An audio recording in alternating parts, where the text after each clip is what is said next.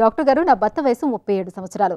తనకు ఐదు సంవత్సరాల క్రితం ఎల్సీఎక్స్లోని యాంజియోప్లాస్టీ చేయించాము. అలాగే ప్రాక్సిమల్ ఎల్సీఎక్స్లోని మరొక యాంజియోప్లాస్టీ చేయించాము. తనకు ఎల్ఈడి మరియు ఆర్సీఏలో ఫిఫ్టీ పర్సెంట్ స్టెనోసిస్ కూడా ఉంది. అతను సాధారణ జీవితం గడపగలరా? కరోనరీ ఆర్టరీ వ్యాధికి శాశ్వత పరిష్కారం ఉందా? తెలియచేయండి అని అడుగుతున్నారు. ఈ ప్రశ్నకు డాక్టర్ సమాధానం ఇప్పుడు తెలుసుకుందాం.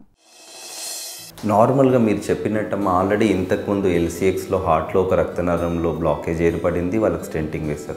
కొంతమందిలో ఆల్రెడీ బ్లాకేజ్ తీవ్రత ఎక్కువగా ఉండడం వల్ల మళ్ళీ ఆల్రెడీ ప్రాక్సిమల్ ఎల్సీఎక్స్లో మళ్ళీ ఇంకొకసారి స్టెంట్ వేశారు.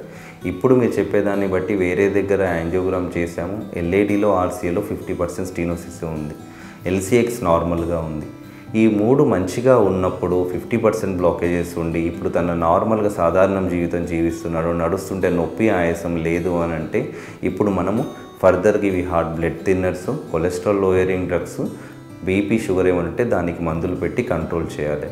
ఇలానే ఫర్దర్గా వాళ్ళు అలానే ఉండి వాళ్ళ జీవిత శైలి మంచిగా ఉంది రోజు తన పనులు చేసుకుంటున్నారంటే ఇప్పుడు ప్రస్తుతంగా ఏమీ చేయొద్దు. ఫ్యూచర్లో వాళ్ళకి ఎప్పుడైనా నొప్పి నడుస్తూ ఉంటే ఆయాసం ఇవన్నీ వచ్చిందంటే మళ్ళీ మనం రీచెక్ యాంజియోగ్రామ్ చేసేసి ఈ ఎల్సీఎక్స్లో స్టెంట్ ఎలా ఉంది? నార్మల్గా ఎల్ఏడి ఆర్సీఏలో ఉండే ఫిఫ్టీ పర్సెంట్ బ్లాకేజెస్ తీవ్రత ఏమన్నా పెరిగిందా? ఒక్కొక్కసారి నార్మల్గా ఫిఫ్టీ పర్సెంట్ అనిపించిన బ్లాకేజ్ కూడా మనము ప్రెజర్ వైర్ ద్వారా ఎఫ్ఎఫ్ఆర్ అని అంటాం. కొత్త అది టెక్నిక్ దానివల్ల బ్లాకేజ్ తీవ్రత అది నిజంగా మనకు ఎక్కువగా ఉందంటే తెలుస్తుంది. అప్పుడు ఎఫ్ఎఫ్ఆర్ కానీ పాజిటివ్ వచ్చిందంటే మనం ఫర్దర్గా ఏమైనా చేయాలి.